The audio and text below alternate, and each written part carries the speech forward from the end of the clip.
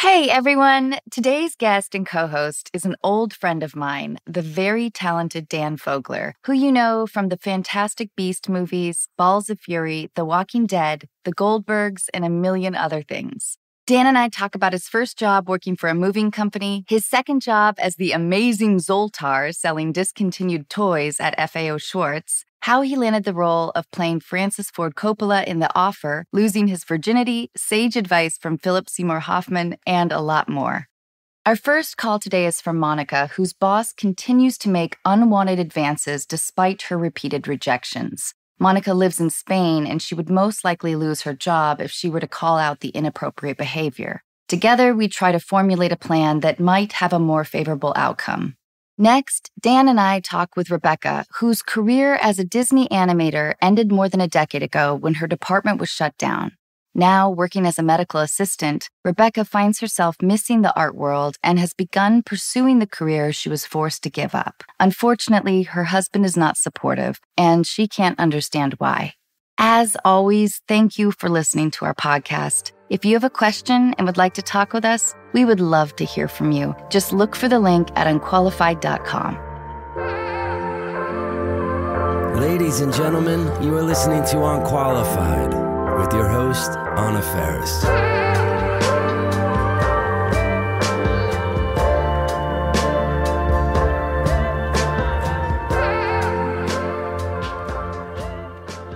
Dan! It is I. Dan and I were in a movie called Take Me Home Tonight that we shot in 2007 in Phoenix. It was an all night shoot. We had only one day. Yeah. That was an experience, and I really want to reminisce about it. However, I'm really excited to talk to you about the offer because my husband and I are enjoying it so much. Will you tell me about your audition process? Yeah. So my representation said you got a big audition coming up. They want you to audition for Francis Coppola.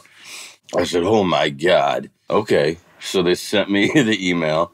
In the header, it said Francis Ford Coppola, but I got sides for Mario Puzo. So I got the sides and I said, Didn't you guys mention Francis? And they were like, Yeah, but they're not looking for Francis quite yet. They're looking for Mario. Who's the author of The Godfather? Yeah, Mario Puzo. So I said, Okay, great. Mario's a great part. These scenes are awesome, but could I also audition for Francis? You know, just because I got excited about it. And they said, Sure. So they got me those sides as well in those sides, if you watch the show, Puzo has a scene where he confronts Sinatra, or he and Sinatra butt heads in a restaurant. It's a fantastic scene. And then in another scene with Francis, he's talking to Al Pacino. So when I usually record my auditions, I do everything. So, how do you do that, like technically? So I'll record, like on a voice memo, their lines and I'll stop talking, but I'll keep acting like I'm saying my lines in my head. Right. For the timing. So you already have the musicality that you hear. Yeah. So what I ended up sending them was my audition for Puzo and for Francis and off camera for Sinatra and Pacino, which I don't know if I'd ever get Sinatra and Pacino, but at least you know, they could see what kind of range I had. And I thought, this is brilliant because that's what a director would do. He'd like do everything, you know? Yeah. So I felt like if I had never mentioned, hey guys, can I try out for Francis? You know, if I never even mentioned that, right. I would have just been auditioning for Puzo and then who knows who would have been Francis. Did you get Francis off of the tape or did they have you meet again? Like, the reason why I'm interested in this is because oftentimes it can be difficult to shift a vision of a particular idea that a director or producer has? Yeah. Well, I made sure it was pretty drastic between Francis and Puzo. So for Francis, I had the beard, and it's crazy because I never would have thought that I would even be anywhere near the vicinity of Coppola. But I put my hair to the side and I put some glasses on, and I was like, my God. Oh, completely. Yeah, I'm like, my gosh, I look like I'm related, you know? So that was very convincing in the moment to me during the audition. I was like, holy crap, I think I got a good shot at this, you know? And then for Puzo, I shaved these big glasses, you know, I basically did the look that he has and had a whole different thing. But I was like, I'm going to get Francis, or they're going to really see this and say, wow, he really looks like Francis. And that's what happened. That's amazing. All the actors are incredible, including you. Thank you. Dan, will you tell us what was your first job and who was your first boss? Oh my God. Wow. I guess my first legitimate job was when I was in college for like rent money.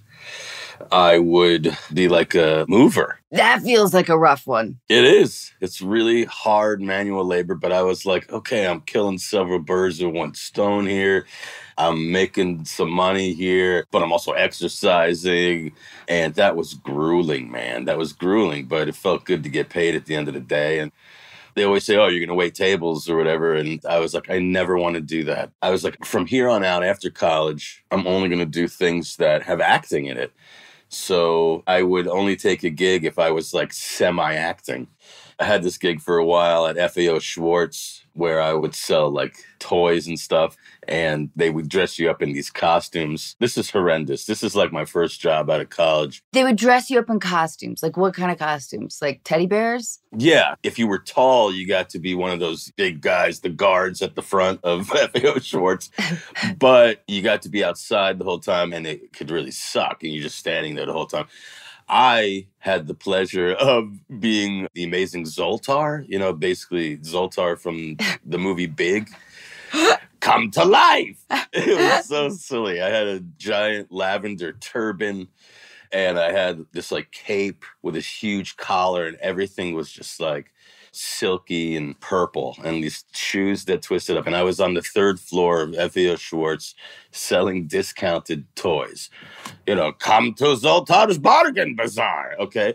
and I was able to improv, right, and you know get kids to come and buy these defective toys but I was sharing the costume with seven other grown men. Oh. This dude just peeled it off of him after okay. his shift and he handed me the costume with a bottle of Febreze and was just, uh, are you next? And I was just like, God. oh God. The kids would be like, yay, we love Zoltar. And then they get within three feet and I'd be like, this is not Zoltar's smell. This is several other people's smell.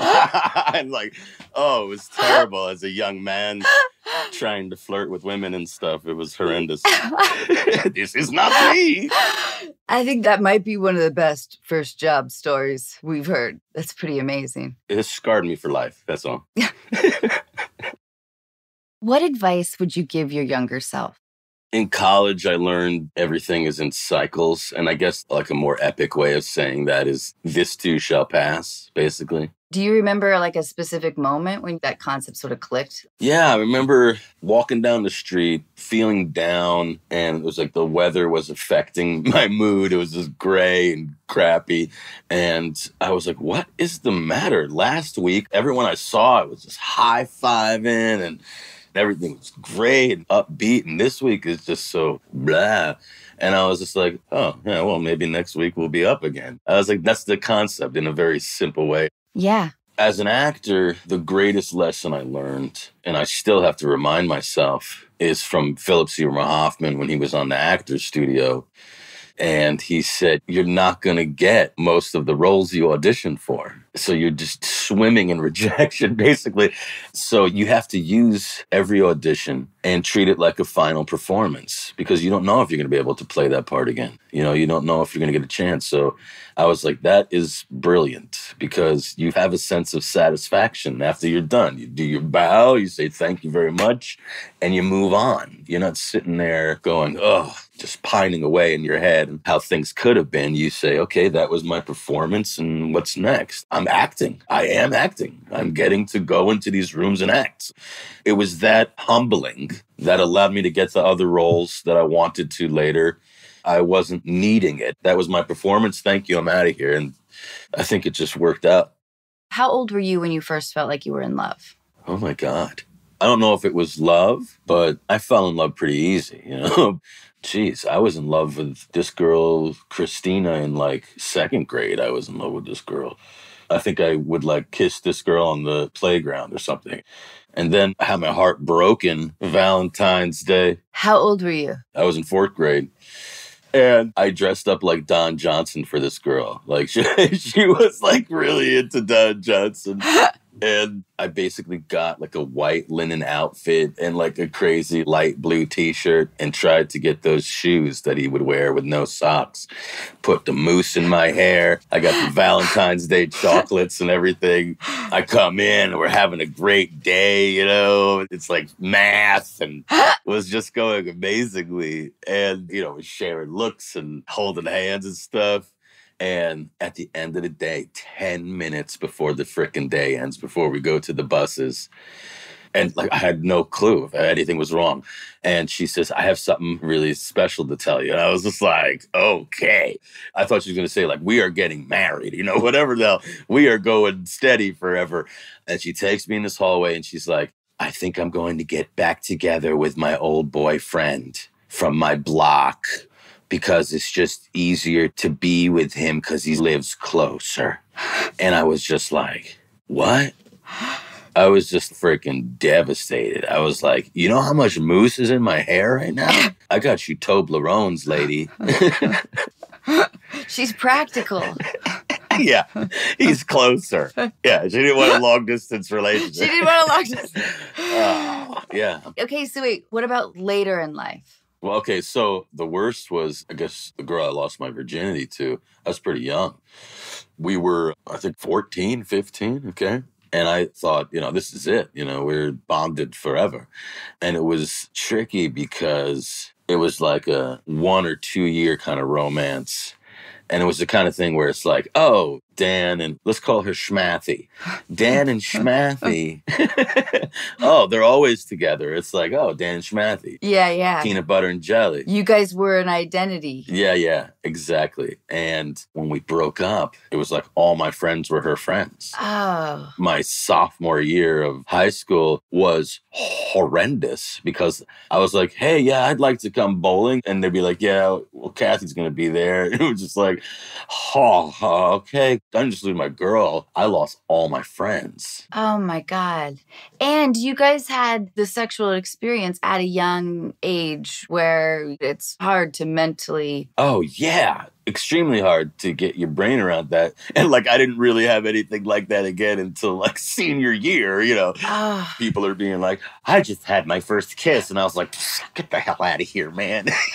I've lived, you know. Oh my God. Yeah. That's tough. Yeah, but that was a huge lesson because that was really a bad time, very lonely time. But it was like I still got by, still did my things. I made new friends. I said to each one of them, one at a time is going to come back to me and say, sorry about that you were right. She was a little wacky, you know, whatever. That's what happened. They all eventually, one by one, came back, and they're all my friends still. Really? Yeah. Do you have a lot of friends from that time in your life? Yeah, definitely. I mean, a lot of people dispersed, but my close, close, the ones that really, it was the most painful, you know, that I couldn't hang out with them because of Schmathy. They're like family. Yeah, that's amazing, though. That's a formative story. Yeah.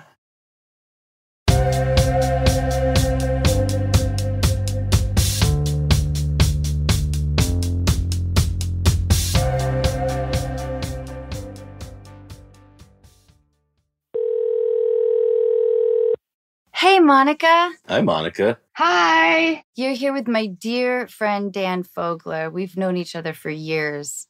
Thank you for your letter. Will you tell us what's going on? Since a few years ago, I have been working at this job, and at this job, I have this manager. And this manager, since the beginning, he's been saying things like, Oh my God, you're so pretty. We're perfect for each other. When are you gonna marry me? Like that type of stuff. And I have always shut him down because I don't want to give anybody false hope. Although sometimes I don't know if he's joking or not. I just, I don't know. And I am a friendly person. So it's not like I hate him or anything. I'm friendly. But like a few weeks ago, we got into this agreement, and ever since then, I just don't know how to treat him. I get very annoyed at him every time that he says those type of things, and I don't know what to do, how to talk to him without getting mad because like he's my manager. I don't want to be like, can you stop saying the stuff? It's very obvious that I'm annoyed at that type of stuff. But it's like he doesn't listen. Ooh. Oh, Monica, I'm so sorry. I don't know what to do. you want the hard answer or the easy answer? Both? Okay. Now, how much do you love your job? Not very much at the moment, but it's not like I can change jobs, sadly. You can't. Okay. Okay, so you got to tolerate the scenario. Yeah, at least for a few more months. Okay, I have kind of a band aid solution, but what do you think, Anna? Well, it's tricky. He's your supervisor.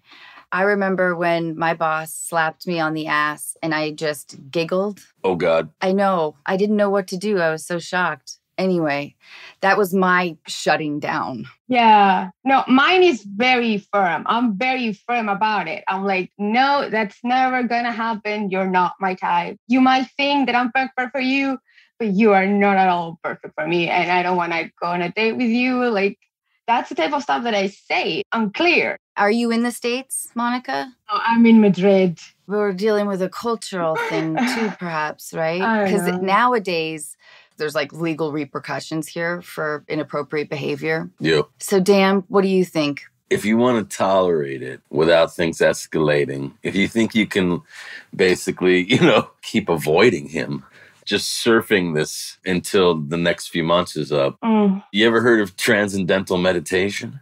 Dan, that was not what I was expecting. No. Well, it allows you to be in a situation that's uncomfortable. Even while you're in it, you're able to rise above it and kind of surf it. Now, in Buddhism, there's a kind of transformative alchemy that happens where you can take what he's giving you and you can say, oh, this person is an extension of me. This is a brother in the human race. Hmm. Okay. Yeah. And that alone can give you a lot of compassion for somebody. Now, if you're seeing them as a brother, just saying that can also help them figure out what position they are in your life. Yeah. And you can say it sweetly with love. You know, it's just all about saying things with love and compassion. So if you don't want to go that far, you can just, instead of cringing every time the guy talks, you can go, oh, this guy is pretty lonely. This guy needs somebody in his life. It's not me. But that can also garner some compassion for the guy. It's kind of sad. It feels like what you're speaking to is applicable for every situation, Yeah. essentially. Yeah. With coworkers in the past, where if I'm agitated when I'm around them, it tends to grow like psychologically, Mm. Yeah. like something's feeding it. And then some part of me is also enjoying the feeling of like, I hate that person so much. yeah. So, kind of the idea of as actors, when we have to smile a lot in a scene, eventually it'll sort of take over your body. Hmm. It's a band aid to get through it. Yeah. There's other ways. But if you want to be able to get through it without rocking any boats, upsetting anybody, Mhm. you create that little force field for yourself. But there are more extreme ways of dealing with it, of course. Like what? Well, the more extreme is obviously just walking away. The more extreme is scratching the record, you know? Hmm. You say, This is how you're making me feel, man. Yeah. you know, you're making this really hard for me. I really want to stay here. I want to work. I mean, that can be very abrasive to somebody. What I told you is something that you're able to surf the waves that the guy's given you without, you know, getting in too much trouble. Hmm. There's also a little acting work you can do here where the Hmm. guy says something and you go, Oh, you're so funny. I've done that too. Yeah. Oh, like, I love how you're always joking with me. You know, brother, I love how you're always joking with me. Just really put him in this place. that would really fuck with his head. because, Monica, it sounds like he's enjoying this sense of control. Yeah. I'm sure Yeah. he sees that you get uncomfortable. How do you think he would react if you got up the nerve without smiling and saying, dude, this makes me really uncomfortable. I don't like it at all. I really would appreciate if you stopped. How do you think he would respond to something like that? I don't know, actually. I mean, he's a very cheerful person and everybody gets along with him. But I have been short with him. I've been very firm in what I don't like about him.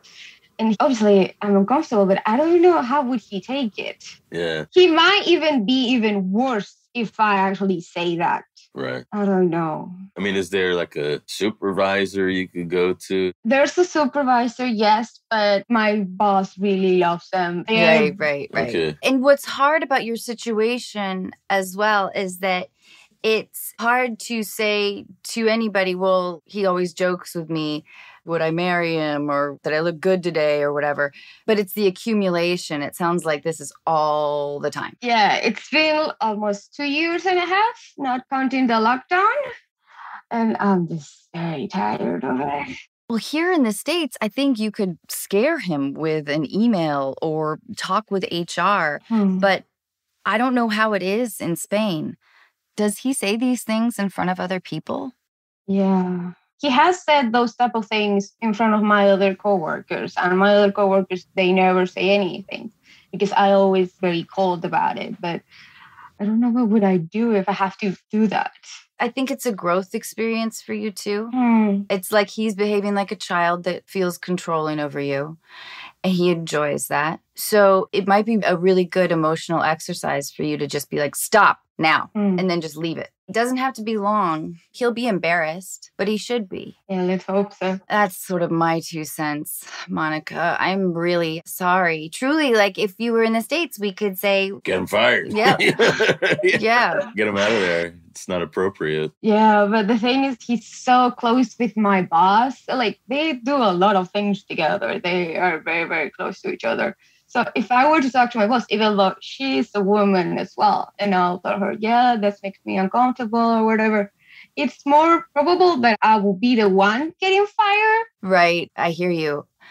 I think that for the time being, I mean, maybe if you can look for other jobs, Yeah. start doing that Mm. because you don't want to live filled with that kind of agitation. It feels awful. It like gnaws away at you like hunger. Mm. This is one job at one point in your life. And it does sound like you are in an unusual position where there's a high risk factor for you keeping this job if you do much. So, see how you can protect yourself emotionally while you slowly make a decision on this. Yeah. I'm so sorry, though. What a creep. And I'm sorry he's trying to take your power away from you and make you feel small. And it is a very childish behavior. And sometimes he asks for a hug. Oh, no. And I'm like, no, thank you. No. But I've behaved very well today. I deserve a hug. And I'm like, no. Yeah. Oh, Monica, I think you got to be proactive in a job hunt. Wow. Yeah, probably. Yeah. Because even if you really like this job, it may be time to move. You know, I don't know what employment's like. It's kind of the same as in the US now. Yeah. Like it's very hard to find one that has good pay and everything. You got any like big dude friends or Yeah. someone that could like come and pick you up every once in a while and you can say is your boyfriend? Yeah. I have a tall friend, but my supervisor is also very tall. Doesn't have to be big, just has to be someone that you can say, I'm seeing somebody and this is not cool for you to do this. Just someone who could be that representation for you. Totally. That's a good idea, Dan. Or if you're feeling frisky, you know, walk in with a lady friend and say, Hi, this is how I'm rolling. well, I am bi, so that can't work. Well, Yeah. do that then. Even if it's a friend or somebody, just say, Hey, Yeah. I'm really smitten with this person. that might work. Yeah. Yeah. And Monica, too, like in terms of outside of your work life, Hmm. have some fun. Go out, get your mind off of that. You know what I mean? Distract yourself. Enjoy life beyond work. I don't want you going home and just like sitting in that agitation. Yeah. Yeah, Can you go out more? Go meet some people. Start dating. I haven't tried dating in a while, but it's hard to go out, but I'll try. Yeah, do cultivate some of your friendships. Maybe start dating again because you'll carry a different energy into work because you'll feel it. You won't have as much time for the hatred for your boss. And I hate him for you too. I can carry some here. Lean on me. and Dan's advice is powerful. yeah, Yeah. It's hard though. I think it's really hard. It is, but it's really quick to learn transcendental meditation. You can learn in like basically a weekend. Hmm. Once you get a handle of it, oh my God, you can really get through a lot of chaos. I'll check that out. I'll see which option it's better for me, the bark one or the other one. Yeah, because you don't have to put the pressure on yourself to do it now. I mean, I've been with this for some time now. And after this call, I feel like it's something that I have to do. Like, Oh, Yeah. good. Then do it. If it feels good and feels right for me to tell you to go fucking bark at him, Yeah. if that feels like a relief to you, then I think it's important. You know, you don't have to get into any details. You just need to make it loud and eye contact. Hmm. I'll practice that at home. Yeah. Thank you so much for the advice. Oh, Monica, thank you. Good luck. I'm thinking about you. Thank you. You got this. Thank you so much, guys. Bye, Monica. Bye. Bye.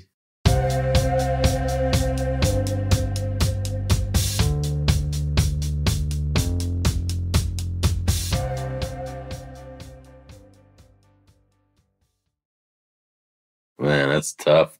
So, transcendental meditation, huh? Yeah, I can teach you. I know a good teacher, but it's pretty easy. You just create a mantra for yourself. All right. Once you figure out what the mantra is, you can really go to that mantra while things are chaotic around you. And it's like a nice little security blanket in your mind. I'm into that. Hi, Rebecca. Hello. How you doing? Rebecca, you're here with Dan Fogler. He is a dear friend of mine. Will you tell us what's happening? Well, I started out my career, I guess, more than 20 years ago at Walt Disney Feature Animation as an animation artist. And that was fantastic. I had a really great time doing that. I was a traditional animator. And then they closed down traditional animation in 2003. And I became a freelance artist for another 10 years. And then I took care of my parents when they became ill and my freelance career kind of went belly up. And it was during that time that I met my husband. He met me as kind of this failed illustrator who had studied to become a medical assistant to pay the bills, have steady health insurance, all that. And now I've hit 51 and I'm at midlife crisis time. And I really miss the art world. I really feel like I need it back. I just feel like my life is flat without it. And my husband and I talked about it seriously about me going back to that and taking it on part time to restart the business as a freelance illustrator. And he was in on it initially. I felt like I had his support. And eventually I moved on to a four day week instead of a five day week as a medical assistant. And as we went forward, I think I'm in my third year going after it. I'm still building on it and I'm not getting great jobs. It's a struggle. And I don't know why that is necessarily.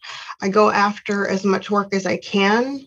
You know, finding the work that pays well is hard. But it's also becoming a struggle at home with my husband because I'm not making big bucks at it yet. And I'm starting to feel like his frustration level with it has grown. I'm starting to get comments about the amount of money that I'm making on the jobs, that it's not enough to really justify what I'm doing, that maybe I should go back to a full week as a medical assistant and just make this more of a hobby. In your letter, you mention his comment about your short hair as well. I love my husband. He's awesome and he says wonderful things a lot of the time. He doesn't have a great filter. Like he will say things without processing them first. And this was just something that came up over dinner. We were talking about the Jada Pinkett Smith thing that happened at the Oscars. And I had seen a trailer for a documentary called Good Hair and I was talking to him about it. I'm very film oriented. I love everything movies, I always have. So I talk about film all the time. And this one was about hair for women and how it defines them sexually or can define them sexually. And I brought it up, and he said, Yes, hair is sexual. The next thing out of his mouth was G.I. Jane. And I'm like, How do you not take that personally? Well, what's the context behind the financial? We're doing really well financially. We own our own house. outright. He makes a very good living. So why isn't he fully supporting you? Yeah. With your decision, if it's not a money thing. Yeah. Why even bring up that you're not making enough money if you guys are stable? That's just not something he feels is appropriate. He feels like we should both pull our own weight. But that's when you're getting to the place. You guys are there. I know, I know. Okay, so that's a flawed argument. G.I. Jane is pretty hot. Yeah. That's another flawed argument. So he fell in love with a certain dynamic, Yeah. but you guys are married. There's an evolution, and he has to love that evolution, and he has to love that you love it. He's got to be a smart enough gentleman to know that if you're loving what you're doing, then you're going to be loving life and loving yourself, and he benefits from that. hmm Are you willing to go all the way with what you love, which means that you really have to focus even more on it? you have to, you know, go full into it and you have to be able to be malleable enough to learn the new playing field. I mean, is that what you want to do? It's what I'm doing right now. I get up every morning at 4:30 to work the jobs that I am getting and I try to work a full day Friday, which is my day off, but my husband treats it as my day off. He gets home and he's like if you don't have a job on your desk then we should do something. And I'm like, well, if I don't have a job on my desk then I should be pursuing jobs. So, that's another point of contention but yes, that's what I'm doing. I have a website up that I have built from the ground floor. I'm learning how to play social media. That is the new game rather than art directors, which is how it worked back in the day. I had relationships with art directors straight up. What are they all doing, all your old cronies? I have contacted a few of them, but I haven't gotten any leads from it. What kind of medical professional are you? Medical assistant, and I earn pretty good money doing it four days a week. Is he missing you when he says, I want to be with you? Or what does that mean when you guys do do something together when you aren't working? Yeah, he is missing me. He feels like we don't spend enough time together. It used to be, well, I only see you on the weekends, so we should have Saturday and Sunday totally together. And when I was working five days a week, he wanted both days. And I was bargaining for having at least one day fully for the art You have a coach or a counselor, for marriage counselor? he won't. he won't do it. Oh, he won't do that. no. When you guys spend time together, what do you do? Usually go into the city like three or four times a month. We go to museums. We're actively together when we're doing stuff. So, when you tell him how happy pursuing this makes you, and you really want to give it your all, and maybe you'd like to quit being a medical assistant so you can dedicate all that time and then you guys can have your weekends or whatever, does he still go back to a financial based counter argument? Yeah. I mean, he's like, well, you wouldn't have your health insurance. And that is one thing. The health insurance is something that I do really need. His job has really crappy health insurance. So we would have to be paying for health insurance. Gotcha. What does he do for a living? He is a maintenance engineer for a lid manufacturing company. but he likes his job. Was that his first choice? He did a lot of different things. You guys have kids? No kids. In your letter, you write, I am euphorically happy when I am illustrating.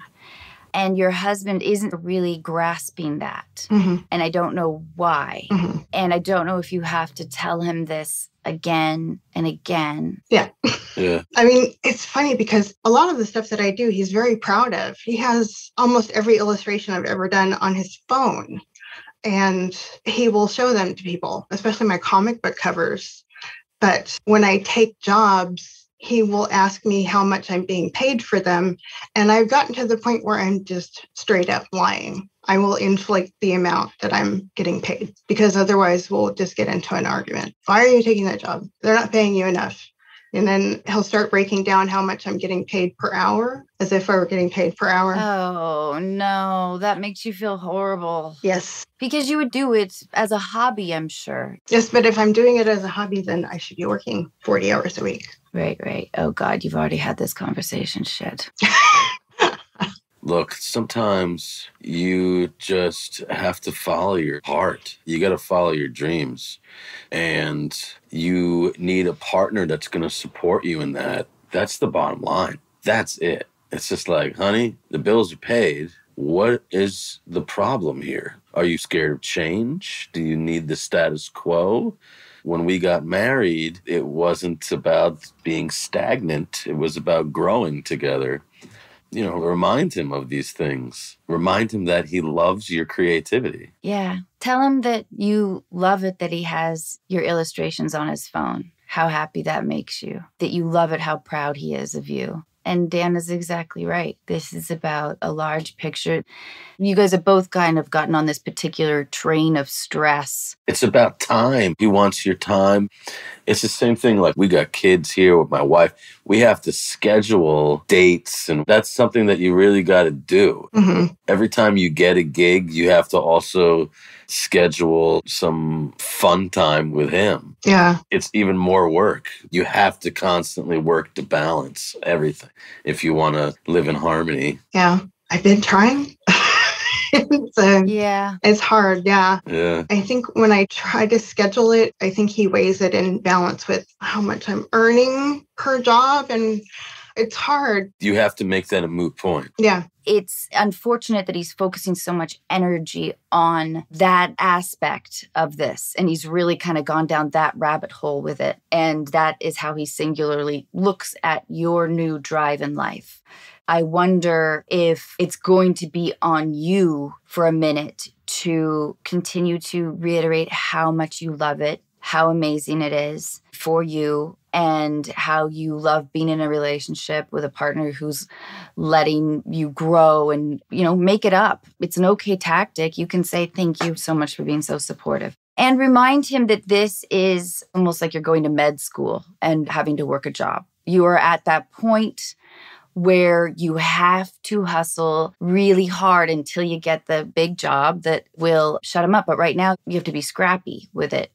When you do have the time together, keep it diverted or tell them things like, I just love it that you show people my illustrations, that you're so proud of me. Focus on other things so you can continue to distract him, like, let's go on this hike, or what did you think about that thing? It's like a classic 80s movie, you know, where you just got to stick to your guns and, and it'll all pay off in the end, you know. Just follow your heart. If he can't get behind that, then there's a bigger problem. Mhm. And Rebecca, keep at it, keep hustling.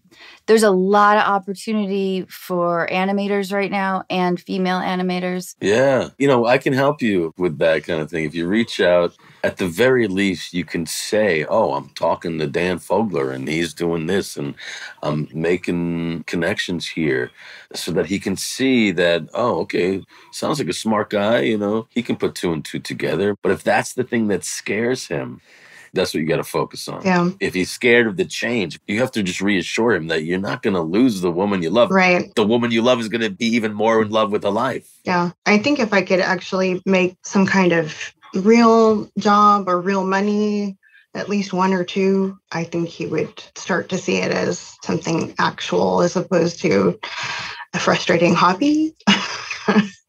he just talks about it as me being used by the people that I'm working for. And he says he's frustrated by that. So you should say this allows me to be my own person. Yeah. This is mine. hmm This belongs to me. You should be able to understand that. hmm I know that maybe it's not a great thread to pull with him, but he should know that we've all done a lot of work for free. Yeah. A lot of favors, a lot of like underpaid work. hmm You just got to do it. hmm For the love of the game, yeah. Yeah. Yeah, it's something that I'm familiar with in film and entertainment. I mean, it's not his world, so.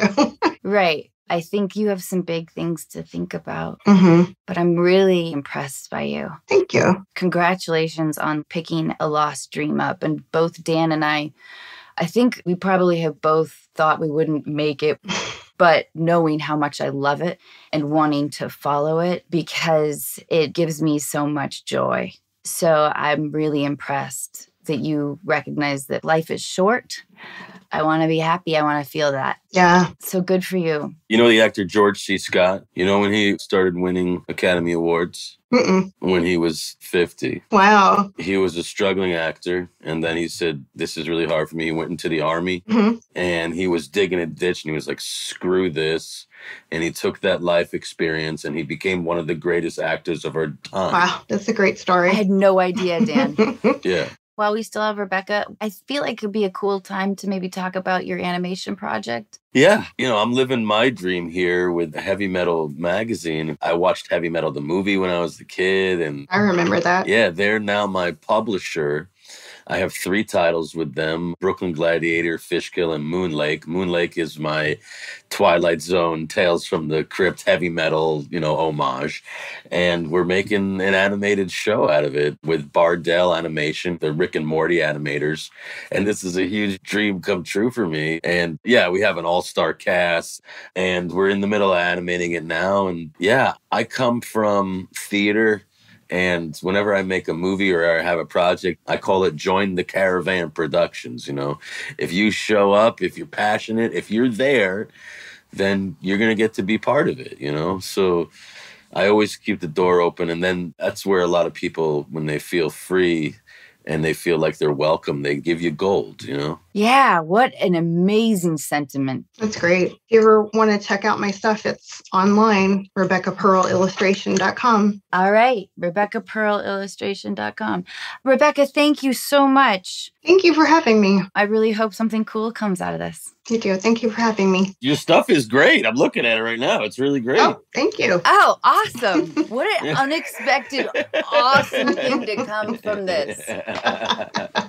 really good stuff. Nice comic book covers. Oh, thank you, Dan. Yeah, excellent work. Thank you. Yeah, you guys have a good one. You too. Yeah, you too. Bye, Rebecca. Bye. Dan, thank you so much for doing that. Sure. That was so cool. Yeah, thanks for having me. Yeah, I miss you. I miss you too. And congratulations on everything. It's been so nice to see you. Thank you. Thank you so much for your time. Sure. Bye, Dan. Bye.